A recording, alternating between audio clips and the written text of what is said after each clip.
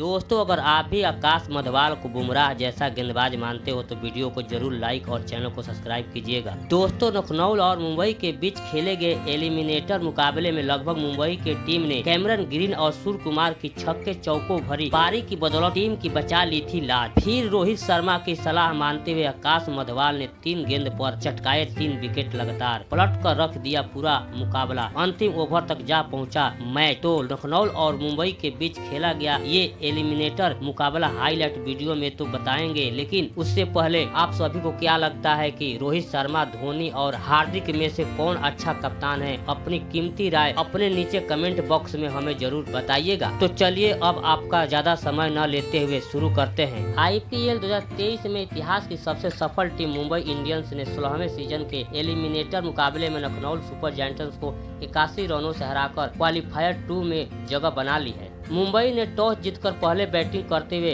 38 run पर दो wicket गंवा दिए। इसके बाद कैमरन ग्रीन और सूर्य कुमार यादव ने 38 गेंदों पर छियासठ रनों की पार्टनरशिप की। ग्रीन ने इकतालीस और सूर्य कुमार ने 33 रन बनाकर मुंबई का स्कोरिंग रेट 10 रन प्रति ओवर के पास बनाए रखा। इसके बाद निहाल बडेरा मुंबई के सत्रहवें ओवर में इम्पैक्ट प्लेयर के रूप में क्रीज पर आए। उन्होंने बारह ही गेंदों पर दो चौकों और दो छक्कों की मदद से तेईस रन की पारी खेल मुंबई का स्कोर एक सौ बयासी तक पहुँचा दिया। अब दोस्तों, एक तिरासी रन का टारगेट चेज करते हुए लखनऊ ने संभली शुरुआत, लेकिन मिडिल ओवर्स में लगातार विकेट गंवाए और स्कोर से इक्यासी रन दूर रह गई। एलएसजी का स्कोर एक समय उनहत्तर रन पर दो विकेट था। कुणाल पांड्या और मार्कस स्टोनिस के रूप में टीम के पास दो सेट बैटर थे। दोनों ने तीसरे विकेट के लिए तीस गेंदों पर छियालीस रनों की साझेदारी करके लखनऊ को मैच में वापसी करा दी थी। यहाँ से ऐसा लग रहा था कि लखनऊ इस लक्ष्य के करीब पहुँच जाएगी। लेकिन टीम ने अगले बत्तीस रन बनाने में बाकी आठ विकेट गंवा दिए। इनमें तीन बल्लेबाज तो रन आउट हुए। लखनऊ की ओर से मार्कस स्टोनिस ने 40 और काइल मेयर्स ने 18 रन बनाए। टीम की बाकी बल्लेबाज 15 रन से ज़्यादा नहीं बना सके।